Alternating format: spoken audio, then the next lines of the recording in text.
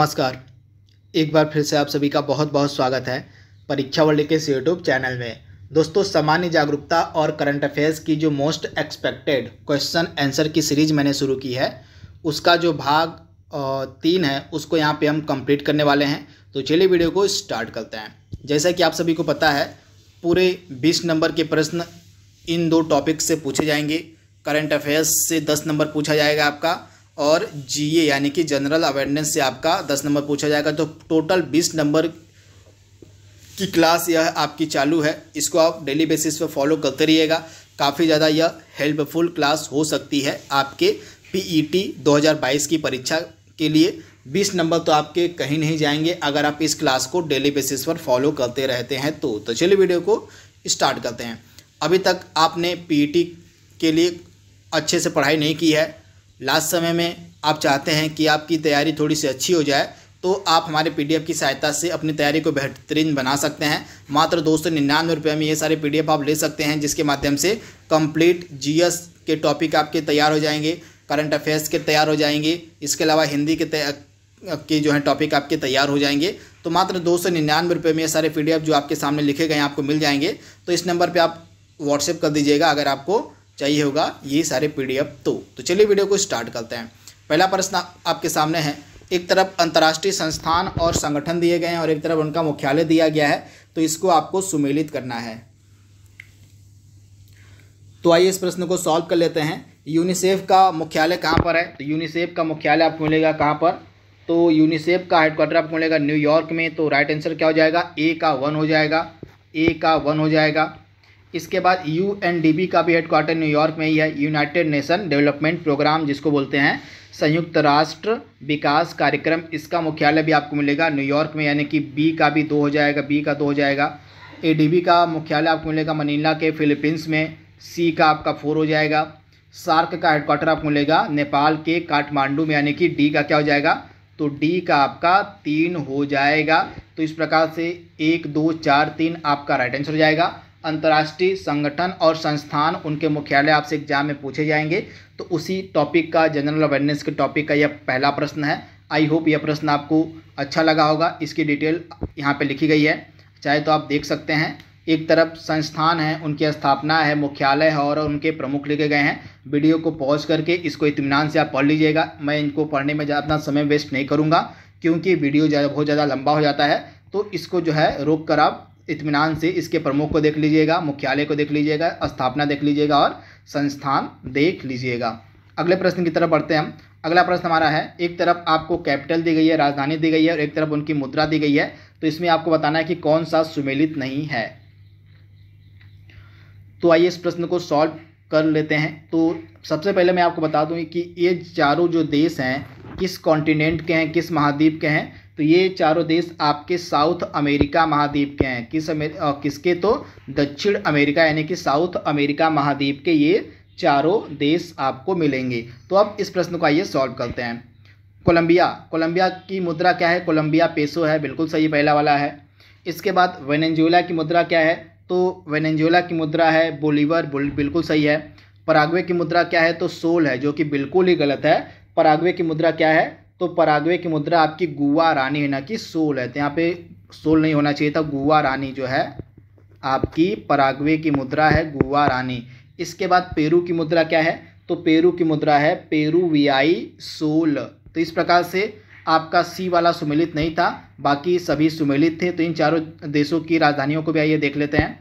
तो जैसा कि मैंने आपको बताया, ये चारों देश आपके साउथ अमेरिका, यानी कि दक्षिण अमेरिका महाद्वीप के हैं तो कोलंबिया की राजधानी क्या है? कोलंबिया की राजधानी बोगोटा है और इसकी मुद्रा क्या है? तो कोलंबिया पेसो है। आप याद कर लीजिएगा। कोलंबिया पेस, पेसो जो है, इसकी मुद्रा है, बोगोटा इसकी राजधानी है।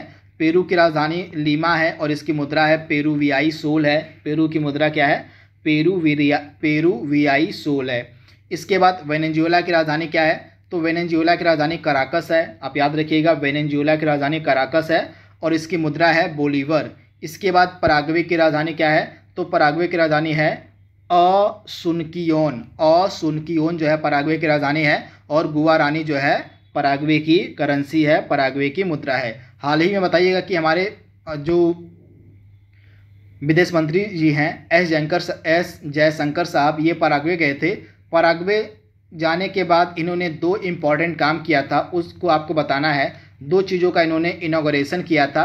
आपको उसका जवाब देना है। अगर आप हमारा करंट अफेयर्स का टॉपिक डेली बेसिस फॉलो करते रह करते होंगे करंट अफेयर्स का वीडियो अगर आपने देखा होगा सितंबर अगस्त महीने का तो इसका जवाब आप आसानी से दे सकते हैं कि पराग्वे की राजधानी असुनकियोन में एस जयशंकर साहब के द्वारा किसका किसका उद्घाटन किया गया था। चलिए अगले प्रश्न की तरफ़ बढ़ते हैं हम। हाल ही में फ्रांस का सर्वोच्च नागरिक सम्मान Chevalier de la Legion d' honneur किसे दिया गया है? इंपॉर्टेंट प्रश्न है। तो राइट आंसर आपका क्या हो जाएगा? फ्रांस का जो सर्वोच्च नागरिक सम्मान है, यह किसको दिया गया है?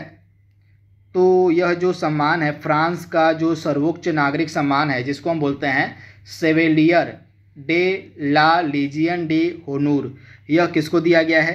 तो राइट आंसर आपका क्या हो जाएगा? यह जो सम्मान है आपका, शशि थरूर को दिया गया यानी कि ऑप्शन आपका सी यहाँ पे बिल्कुल सही हो जाएगा।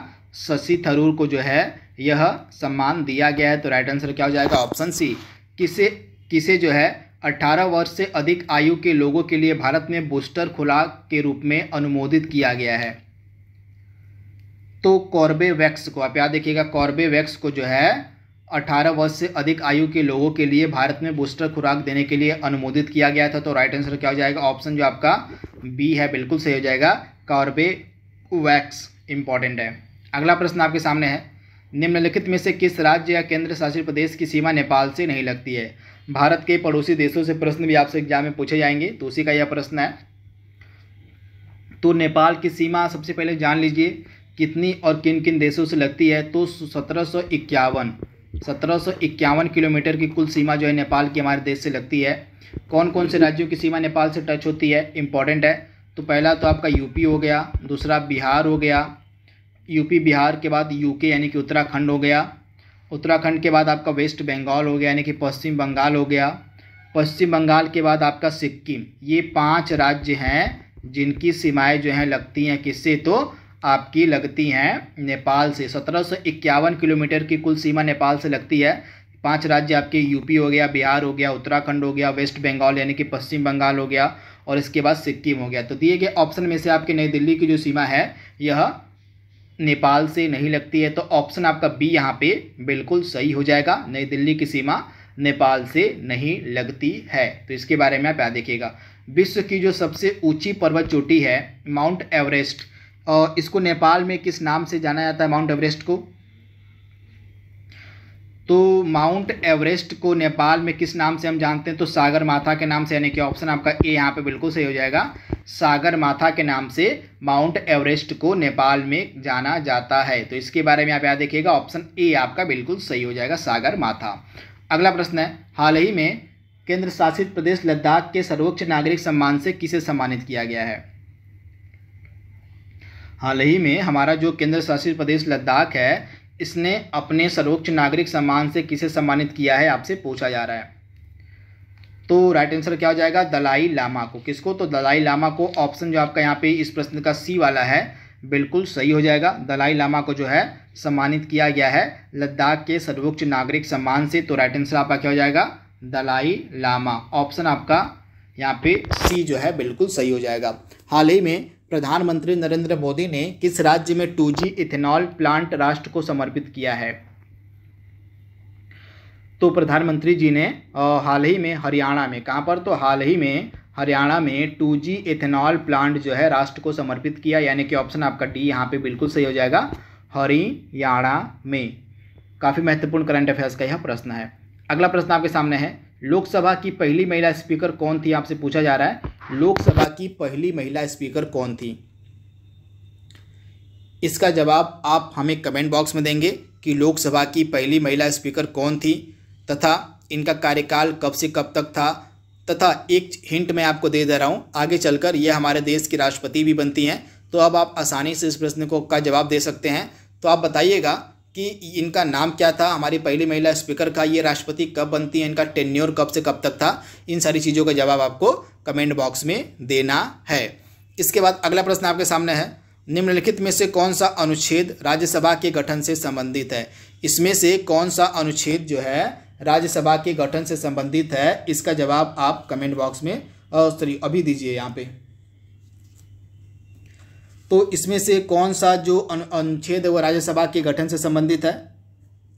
तो राइट आंसर आपका क्या हो जाएगा? राइट आंसर हो जाएगा ऑप्शन ए वाला। ऑप्शन ए यानी कि आर्टिकल जो 80 है, अनुच्छेद जो 80 है यह किससे संबंधित है? तो राज्यसभा के गठन से संबंधित संबंधित है। तो ऑप्शन आपका जो ए वाला है, यहाँ पे बिल्कुल सही हो जाएगा। जो अनुच्छेद 80 है, यह राज्यसभा के गठन से संबंधित है। तो इसके बारे में आप याद रखिएगा। लोकसभा और राज्यसभा के प्रश्न भी आपसे एग्ज़ाम में पूछे जाएँगे तो उसी का यह प्रश्न है। तो राइट आंसर क्या हो जाएगा? आर्टिकल 80 वहीं लोकसभा के गठन से जुड़ा हुआ आर्टिकल कौन सा है? तो लोकसभा के गठन से जुड़ा हुआ आर्टिकल है आर्टिकल इक्यासी। तो इसके बारे में भी आप याद रखिएगा इंपॉर्टेंट है। तो लोग जो हमारा राज्यसभा इसको हम क्या बोलते हैं? राज्यसभा को हम अपर हाउस के नाम से जानते हैं। अपर हाउस राज्यसभा को जो है उच्च सदन, यानी कि अपर हाउस के नाम से जाना जाता है तो इसके बारे में आप देखिएगा मैक्सिमम जो है राज्यसभा में आपके ढाई सौ सदस्य होते हैं और मैक्सिमम जो है राज्यसभा में ढाई सौ सदस्य हो सकते हैं। तो इसके बारे में आप देखिएगा, वर्तमान में 245 सदस्यों का ही चयन होता है, चुनाव होता है, जिनमें से 12 मनोनीत होते हैं और 233 जो है आपके निर्वाचित किए जाते हैं। तो इसके बारे में आप याद देखिएगा, तथा हमारी जो राज्यसभा है यह एक अस्थाई सदन है। क्या है? तो यह एक अस्थाई सदन है राज्यसभा। तथा इसके सदस्यों का जो कार्यकाल है छः वर्षों का होता है। तो इसके बारे में आप याद रखिएगा। तथा राज्यसभा का सदस्य बनने के लिए आपको तीस वर्ष की मिनिमम एज आपकी होनी चाहिए। तीस वर्ष की न्यूनतम आयु रखी गई है राज्यसभा का सदस्य बनने के लिए। तो इसके बारे में आप याद देखिएगा तथा राज्यसभा के गठन से जुड़ा जो आर्टिकल है, वो है आर्टिकल अस्सी आर्टिकल एट्टी अनुच्छेद अस्सी। तो इसके बारे में आप याद देखिएगा अगला प्रश्न आपके सामने है। अंतर्राष्ट्रीय युवा दिवस कब मनाया जाता है? अंतर्राष्ट्रीय युवा दिवस। तो अंतर्राष्ट्रीय यानी कि पूरे विश्व में जो युवा दिवस है, आपका 12 अगस्त को मनाया जाता है, यानी कि ऑप्शन आपका ए यहाँ पे बिल्कुल सही है। अंतर्राष्ट्रीय युवा दिवस आपका 12 अगस्त को सेलिब्रेट किया जाता है, मनाया जाता है। तो इसके बारे में आप याद देखिएगा इंपॉर्टेंट है। यानी कि ऑप्शन आपका ए यहाँ पे बिल्कुल सही हो जाएगा। चलिए कमेंट बॉक्स में आप हमें बताइए कि भारत में यानी कि राष्ट्रीय युवा दिवस जो है कब मनाया जाता है? तथा किसकी जयंती होती है, जो भारत में राष्ट्रीय युवा दिवस के रूप में मनाई जाती है, इसका जवाब आप कमेंट बॉक्स में दीजिएगा। विश्व हाथी दिवस प्रतिवर्ष किस तारीख को मनाया जाता है? विश्व हाथी दिवस प्रतिवर्ष किस तारीख को मनाया जाता है? तो विश्व हाथी दिवस आपका प्रतिवर्ष किस तारीख को मनाया जाता है? तो राइट आंसर आपका क्या हो जाएगा? 12 अगस्त को। 12 अगस्त को ही आपका विश्व हाथी दिवस भी मनाया जाता है। यानी कि ऑप्शन आपका डी यहाँ पे बिल्कुल सही हो जाएगा। 12 अगस्त को। इसके बाद अगला प्रश्न आपके सामने है। उत्तर प्रदेश विधानसभा के पहले अध्यक्ष पूछे जा रहे हैं कौन थे? उत्तर प्रदेश विधानसभा के पहले अध्यक्ष कौन थे? आपसे पूछा जा रहा है। काफ़ी महत्वपूर्ण प्रश्न है। इसका आंसर आपको बताना है। तो राइट आंसर क्या हो जाएगा? पुरुषोत्तम दास टंडन जो थे, ये वर्तमान में जो हैं मतलब उत्तर प्रदेश विधानसभा के पहले अध्यक्ष थे। तो आप इसे याद देखिएगा पुरुषोत्तम दास टंडन जो हैं, ये आपके उत्तर प्रदेश विधानसभा के पहले अध्यक्ष थे तो इसके बारे में आप याद देखिएगा। वर्तमान में उत्तर प्रदेश विधानसभा की सीटें कितनी हैं तो 403 हैं तो इसके बारे में भी आप याद देखिएगा। इंपॉर्टेंट है, यानी कि ऑप्शन आपका बी यहाँ पे बिल्कुल सही हो जाएगा। वर्तमान में उत्तर प्रदेश विधानसभा के अध्यक्ष कौन है, इसका जवाब आप कमेंट बॉक्स में दीजिएगा। कमेंट बॉक्स में आप ज़रूर बताइएगा। एक तरफ़ राज्य दिए गए हैं और एक तरफ़ उनकी विधानसभा की सीटें दी गई हैं। तो इसमें आपको बताना है कि कौन सा सुमेलित नहीं है। विधानसभा की सीटें भी आपसे एग्ज़ाम में पूछी जा सकती हैं तो उसी कारण से इस प्रश्न को सम्मिलित किया गया है। तो इसका जवाब देने की आप कोशिश कीजिए कि इसमें से कौन सा जो है सुमेलित नहीं है, किस मतलब कौन सा वाला ऑप्शन सुमेलित नहीं है। तो आइए इस प्रश्न को सॉल्व करने की कोशिश करते हैं। पंजाब में विधानसभा की कितनी सीटें हैं, आइए देख लेते हैं। तो पंजाब में आपकी विधानसभा की सीटें हो जाएँगी कितनी? तो पंजाब जो है, इसमें विधानसभा की सीटें 117 हैं। तो पहला वाला बिल्कुल सही है। उत्तराखंड में विधानसभा की कितनी सीटें हैं? तो सत्तर हैं। दूसरा भी बिल्कुल सही है। मणिपुर में विधानसभा की कितनी सीटें हैं? मणिपुर में जो है, विधानसभा की कितनी सीटें हैं? 110 हैं, जो कि बिल्कुल ही गलत आपका दिया गया है। मणिपुर में विधानसभा की सीटें 110 ना होकर कितनी है? तो 60 हैं। तो ये चीज़ आपको पता होनी चाहिए। मणिपुर में जो विधानसभा की सीटें हैं, वो कितनी हैं? तो मणिपुर में विधानसभा की सीटें आपकी कितनी हैं? तो 60 हैं। तो इसके बारे में आप याद रखिएगा इंपॉर्टेंट है डायरेक्टली आपसे पूछा जा सकता है। इसके बाद छत्तीसगढ़ में विधानसभा की सीटें कितनी हैं? तो छत्तीसगढ़ में विधानसभा की सीटें आपकी नब्बे हैं। तो इस प्रकार से सीटें भी आपको पता होनी चाहिए कुछ कुछ राज्यों की, जो राज्य न्यूज़ में रहते हैं, जहाँ पर लेटेस्ट में विधानसभा के चुनाव हुए हैं, कम से कम उनके बारे में तो आपको पता होना ही चाहिए कि वहाँ पर जो है विधानसभा की सीटें कितनी हैं। तो आप इसे याद कर लीजिएगा। अभी बहुत समय है, दस से पंद्रह दिन का समय है। तब तक बहुत सारे प्रश्न हम सॉल्व कर लेंगे इन राज्यसभा से, विधानसभा से, विधान परिषद से। तो आप चिंता मत करिए। तो अगर आप इस सीरीज़ को फॉलो भी करते रहते हैं तो आपके सभी प्रश्न तैयार हो जाएँगे, जो आपसे पूछे जाने वाले होंगे। तो मणिपुर यहाँ पे ऑप्शन गलत दिया गया था। यहाँ पे 110 की जगह 60 होगा। 60 सीटें हैं विधानसभा की मणिपुर में। तो इसके बारे में आपको पता होना चाहिए। इसके बाद अगला प्रश्न आपके सामने है। ये आपके अभी तक कुछ अध्यक्ष लिखे गए हैं विधान परिषद के, उत्तर प्रदेश विधान परिषद के यहाँ पे अध्यक्षों की सूची दी गई है अभी तक के। तो इसको आप एक बार देख लीजिएगा इंपॉर्टेंट है। यहाँ पे उत्तर प्रदेश विधान परिषद की इस परिषद के अध्यक्षों यानी कि सभापति जो होते हैं ना, सभापति के सॉरी सभापति के यहाँ पे सूची दी गई है। तो एक बार देख लीजिएगा, ये सभी उत्तर प्रदेश विधान परिषद के सभापति हैं। इसके बाद अगला प्रश्न आपके सामने दिया गया है। हाल भारत की पहली अंडर वाटर मेट्रो का उद्घाटन जो है किस शहर में किया जाएगा? भारत की पहली अंडर वाटर मेट्रो का उद्घाटन किस शहर में किया जाएगा? तो कोलकाता में किया जाएगा। ऑप्शन आपका बी यहाँ पे बिल्कुल सही हो जाएगा। कोलकाता में। हाल ही में डिफेंस एक्सपो का बारहवां जो संस्करण है, कहाँ पर आयोजित किया जाएगा? डिफेंस एक्सपो का बारहवां संस्करण कहाँ पर आयोजित किया जाएगा? तो अक्टूबर के महीने में यह किया जाएगा। गुजरात में ऑप्शन आपका ए यहाँ पे बिल्कुल सही है। गुजरात में यह आयोजन किया जाएगा डिफेंस एक्सपो के बारहवें संस्करण का। अगला प्रश्न है, निम्नलिखित में से कौन सा पर्यटन स्थल जो है मध्य प्रदेश में स्थित है? इसमें से कौन सा पर्यटन स्थल आपको एमपी यानी कि मध्य प्रदेश में मिलेगा, आपको बताना है। तो भारत के जो पर्यटन स्थल हैं, आपसे एग्ज़ाम में पूछे जाएँगे। आपके सिलेबस में क्लियरली इसके बारे में दिया गया है। तो ये सभी जो आपके पर्यटन स्थल हैं, जैसे चौसठ योगनी मंदिर हो गया, कंदरिया महादेव का मंदिर हो गया, मृगनयनी का महल हो गया, ये सभी आपको मिलेंगे एमपी यानी कि मध्य प्रदेश में, यानी कि ऑप्शन आपका जो डी है बिल्कुल सही हो जाएगा। सभी आपके मध्य प्रदेश में ही स्थित हैं। इनके बारे में आइए, डिटेल में बात कर लेते हैं। तो यहाँ पे आप देख पा रहे हैं, कंदरिया महादेव का मंदिर खजुराहो एमपी में उसका निर्माण करवाया गया था, चंदेल राजा विद्याधर के द्वारा। मृगनयनी का महल आपका ग्वालियर में है, कहाँ पर? तो मृगनयनी का महल आपका ग्वालियर में और इसका निर्माण करवाया गया था, राजा मान सिंह तोमर के द्वारा। इसके बाद चौसठ योगनी का मंदिर आपका एमपी के खजुराहो में है और चौंसठ योगनी का मंदिर आपका खजुराहो में मिलेगा मध्य प्रदेश के और चंदेल शासकों के द्वारा जो है इसका निर्माण करवाया गया था। तो ये डिटेल आप देख लीजिएगा इंपॉर्टेंट है। इसके बाद अगला इंपॉर्टेंट प्रश्न है, दिल्ली स्थित हौज खास का निर्माण किसने करवाया था? दिल्ली का जो हौज खास है, इसका निर्माण किसने करवाया था? तो दिल्ली में बहुत सारे आपको पर्यटन स्थल मिल जाएँगे, जिनमें से एक हौज खास है। तो यह एक प्रकार का मेनली विलेज है। मॉडर्न विलेज आप इसको बोल सकते हैं। एक प्रकार का यह मॉडर्न विलेज है, जिसको बसाया गया था। और किसके द्वारा? तो इसको जो है बसाया गया था अलाउद्दीन खिलजी के द्वारा, यानी कि ऑप्शन आपका बी यहाँ पे बिल्कुल सही हो जाएगा। अलाउद्दीन खिलजी के द्वारा। तो आप इसे याद देखिएगा इन चारों जो ऑप्शन को आप देख पा रहे हैं, इनके द्वारा किसी न किसी पर्यटन स्थल की स्थापना की गई थी दिल्ली में। तो आइए इसको देख लेते हैं। तो चारों ऑप्शन के बारे में यहाँ पे लिखा गया है। हौज एक खास की स्थापना की गई थी दिल्ली में अलाउद्दीन खिलजी के द्वारा। शाहजहाँ ने दिल्ली में लाल किला बनवाया था जमा मस्जिद बनवाई थी। इसके बारे में आपको पता होगा। इसके बाद गयासुद्दीन तुगलक के द्वारा दिल्ली में तुगलकाबाद की स्थापना की गई थी।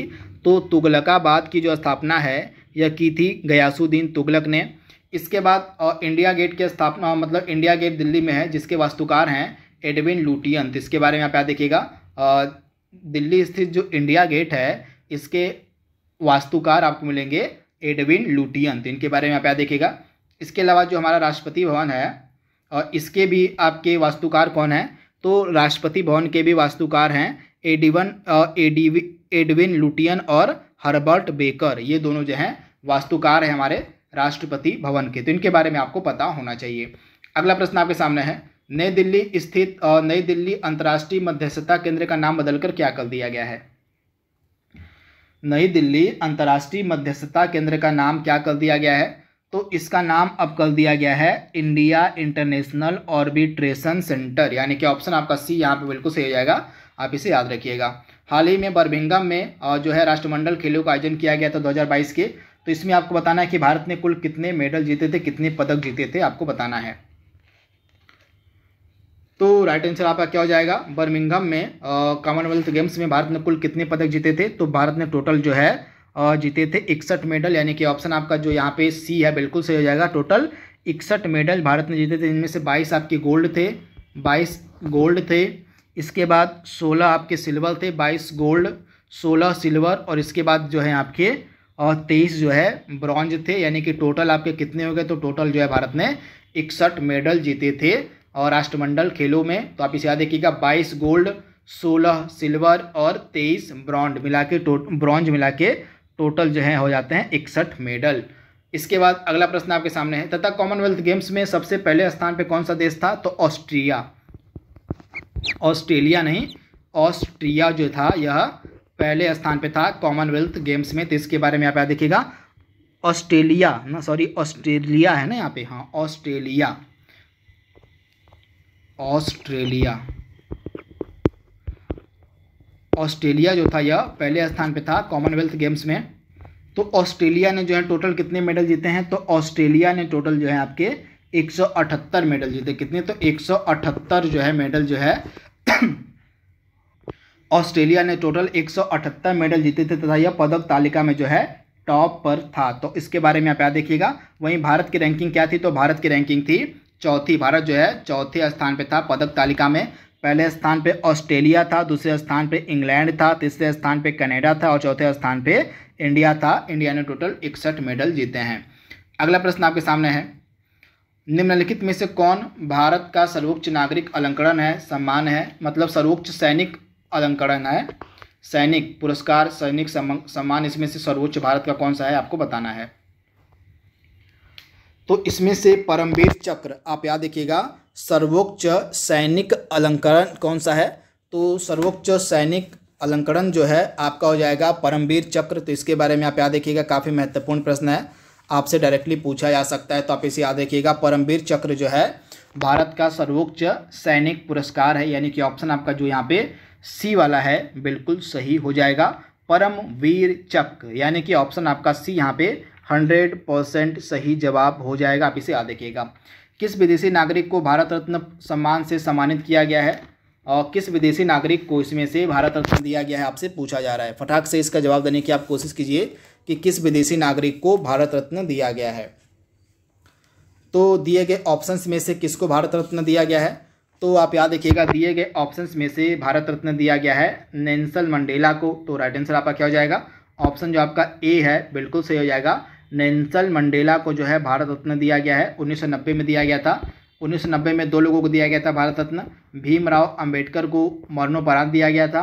भीमराव अंबेडकर को मरणोपरांत भारत रत्न दिया गया था 1990 में और 1990 में ही नेंसल मंडेला को भी दिया गया था। इन दोनों को साथ में दिया गया था। इसके बाद अगला प्रश्न आपके सामने है। हाल ही में प्रधानमंत्री नरेंद्र मोदी ने एशिया का सबसे बड़ा प्राइवेट अस्पताल अमृता अस्पताल का उद्घाटन कहाँ पर किया है? अमृता अस्पताल का उद्घाटन कहाँ पर किया गया, आपसे पूछा जा रहा है। इंपॉर्टेंट प्रश्न है। तो अमृता अस्पताल का उद्घाटन किया गया हरियाणा के फरीदाबाद में, यानी कि ऑप्शन आपका सी यहाँ पे बिल्कुल सही है। हरियाणा के फरीदाबाद में। परवाज मार्केट लिंकेज योजना भारत के किस केंद्र शासित प्रदेश के द्वारा शुरू की गई है? परवाज मार्केट लिंकेज परियोजना जो है, भारत के किस केंद्र शासित प्रदेश के द्वारा शुरू की गई है, आपको बताना है। राइट आंसर बताने की कोशिश कीजिए आप फटाक से। तो राइट आंसर आपका क्या हो जाएगा? जम्मू और कश्मीर के द्वारा। किसके द्वारा? तो जम्मू और कश्मीर के द्वारा परवाज मार्केट लिंकेज योजना की शुरुआत की गई है। तो ऑप्शन आपका बी यहाँ पे बिल्कुल सही हो जाएगा, जम्मू और कश्मीर के द्वारा। अगला प्रश्न है, द इंचेंट्रेस ऑफ़ फ्लोरेंस इस पुस्तक के लेखक आपसे पूछे जा रहे हैं कि कौन है? इसका जवाब दीजिए आपकी ये जो पुस्तक आपके सामने लिखी गई है, इस पुस्तक के लेखक कौन है? इंपॉर्टेंट प्रश्न है। पुस्तक और उसके लेखक आपसे एग्ज़ाम में पूछे जाएँगे।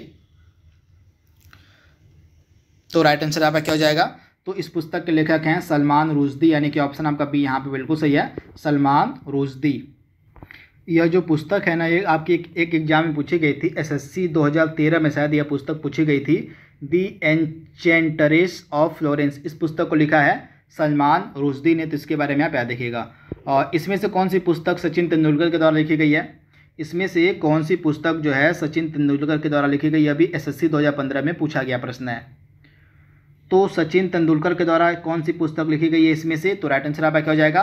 प्लेइंग इट माई वे कौन सा? तो ऑप्शन डी आपका बिल्कुल सही हो जाएगा। प्लेइंग इट माई वे यानी कि ऑप्शन आपका डी यहाँ पे बिल्कुल सही हो जाएगा। अगला प्रश्न है, डॉक्टर एन कलाई सेल्वी किस अनुसंधान संगठन की पहली महिला महानिदेशक बनी है? काफ़ी इंपॉर्टेंट प्रश्न है। डॉक्टर एन कलाई सेल्वी जो है, किस अनुसंधान संगठन की पहली महिला महानिदेशक बनी है? तो राइट आंसर आपका क्या हो जाएगा भैया? तो राइट आंसर आपका हो जाएगा, ये बनी है भारतीय वैज्ञानिक और अनुसंधान परिषद की, जिसको हम सी एस आई आर के नाम से जानते हैं। सी एस आई आर यानी कि वैज्ञानिक और औद्योगिक अनुसंधान परिषद। तो इसके बारे में आप याद देखिएगा राइट आंसर आपका क्या हो जाएगा? ऑप्शन जो आपका यहाँ पे डी है, बिल्कुल सही हो जाएगा। आप इसे याद देखिएगा सी एस आई आर यानी कि वैज्ञानिक और औद्योगिक अनुसंधान परिषद की ये पहली महिला महानिदेशक बनी है। इनका नाम है एन कलाई सेल्वी। और कॉमनवेल्थ गेम्स 2022 में भारतीय दल ने कितने स्वर्ण पदक जीते हैं? कॉमनवेल्थ गेम्स 2022 में भारतीय दल ने कितने स्वर्ण पदक जीते हैं, आपसे पूछा जा रहा है। तो भारत ने कुल कितने स्वर्ण पदक जीते हैं? तो भारत के द्वारा टोटल जो है 22 गोल्ड मेडल जीते गए थे, यानी कि ऑप्शन आपका जो यहाँ पे सी है, बिल्कुल सही हो जाएगा। 22 गोल्ड मेडल। अगला प्रश्न आपके सामने है। एक तरफ़ देश दिया गया है और एक तरफ़ उनका खेल दिया गया है तो इसमें से आपको बताना है कि कौन सा सुमेलित नहीं है। तो स्पेन का खेल क्या है? तो स्पेन का खेल बैडमिंटन है, जो कि बिल्कुल गलत दिया गया। स्पेन का खेल बैडमिंटन नहीं, बल्कि बुल फाइटिंग है, सांड युद्ध है। क्या है? तो सांड युद्ध जो है यह खेल होता है, बुल फाइटिंग होता है। स्पेन का राष्ट्रीय खेल। इसके बाद नेपाल का वॉलीबॉल होता है, बिल्कुल सही है, नेपाल का वॉलीबॉल होता है। इसके बाद ब्राज़ील का क्या होता है? तो ब्राज़ील का होता है, फुटबॉल होता है, बिल्कुल सही है, और नेपाल का बेसबॉल है। तो इस प्रकार से नीचे के तीनों आपके सुमिलित थे, ऑप्शन ए आपका सुमिलित नहीं था। स्पेन का सांड युद्ध होता है, बुल फाइटिंग होता है, राष्ट्रीय खेल। रामकृष्ण मिशन संस्कृति संस्थान कहाँ पर स्थित है? रामकृष्ण मिशन संस्कृति संस्कृति संस्थान आपको मिलेगा कोलकाता में, यानी कि ऑप्शन आपका बी यहाँ पे बिल्कुल सही हो जाएगा, कोलकाता में। राष्ट्रीय मस्तिष्क अनुसंधान केंद्र कहाँ पर स्थित है? इंपॉर्टेंट प्रश्न है। राष्ट्रीय मस्तिष्क अनुसंधान केंद्र आपको कहाँ पर मिलेगा? तो यह आपको मिलेगा गुरुग्राम में। आप याद रखिएगा, गुरुग्राम में राष्ट्रीय मस्तिष्क अनुसंधान केंद्र आपको मिलेगा। यानी कि ऑप्शन आपका यहाँ पे जो दिया गया गुरुग्राम वाला, बिल्कुल सही दिया गया। आप इसे याद कर लीजिएगा, गुरुग्राम में। इसके बाद चारों ऑप्शन जो आपके सामने दिए गए यहाँ पे भी और कुछ संस्थान अवस्थित हैं, भारत के इंपॉर्टेंट संस्थान। जो आपसे एग्ज़ाम में पूछे जा सकते हैं तो उनके बारे में भी यहाँ पे पूरी डिटेल लिखी गई है। आप देख सकते हैं यहाँ पे। देहरादून में आपके दो संस्थान याद रखने पड़ेंगे कौन कौन से? भारतीय पेट्रोलियम संस्थान हो गया देहरादून में, और इसके अलावा देहरादून में वन अनुसंधान संस्थान भी है। इसके अलावा हैदराबाद में तीन से चार संस्थान आपको याद रखने पड़ेंगे। राष्ट्रीय भू भौतिकी अनुसंधान संस्थान, centre for DNA finger printing and diagnostics आपको हैदराबाद में मिलेगा। इसके अलावा कुशकी और आणविक जीव विज्ञान केंद्र भी आपको मिलेगा कहाँ पर? तो हैदराबाद में मिलेगा। इसके अलावा इक्कीस सेट भी आपको मिलेगा हैदराबाद में। तो ये तीन से चार आपको हैदराबाद में वाले याद रखने पड़ेंगे। वाराणसी में एक है आपका डीजल लोकोमोटिव वर्क्स आपको वाराणसी मिलेगा और गुरुग्राम में आपको मिलेगा राष्ट्रीय मस्तिष्क अनुसंधान केंद्र। तो इसके बारे में आप याद रखिएगा। आज के सेशन का लास्ट प्रश्न आपके सामने है। भारत के चौदहवें उपराष्ट्रपति के रूप में किसे चुना गया है? तो जगदीप धनखड़ जी को आप याद रखिएगा, जगदीप धनखड़ को भारत के चौदहवें उपराष्ट्रपति के रूप में चुना गया है। तो ऑप्शन आपका जो बी वाला है, बिल्कुल सही हो जाएगा, जगदीप धनखड़ को। तो इस प्रकार से जो भी इंपॉर्टेंट आपके क्वेश्चन बन सकते थे पार्ट थ्री के, उनको हमने यहाँ पे कंप्लीट डिस्कस कर लिया है। इसका भाग जो चौथा वाला है, वह जल्दी आपके सामने प्रस्तुत किया जाएगा। तो आज के लिए बस इतना ही। Thank you thanks for watching thank you